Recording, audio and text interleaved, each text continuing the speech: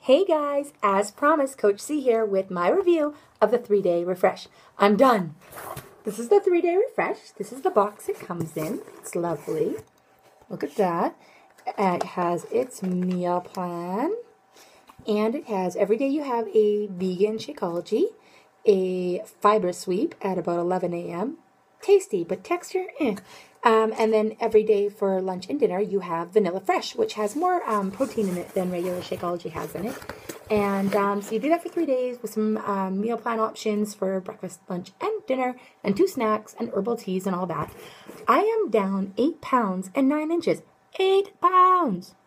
Nine inches. That's nuts. Over three days? That's seriously insane.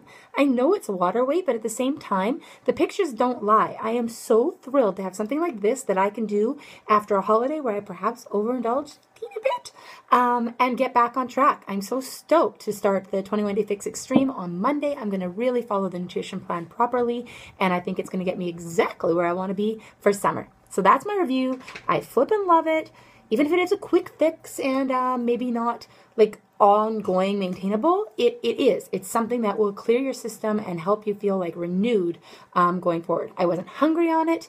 Um, i was a little foggy because it's less food than i'm used to. Um, but other than that it was it was really great. I enjoyed the food options. I enjoyed everything. I missed meat like bacon. That is all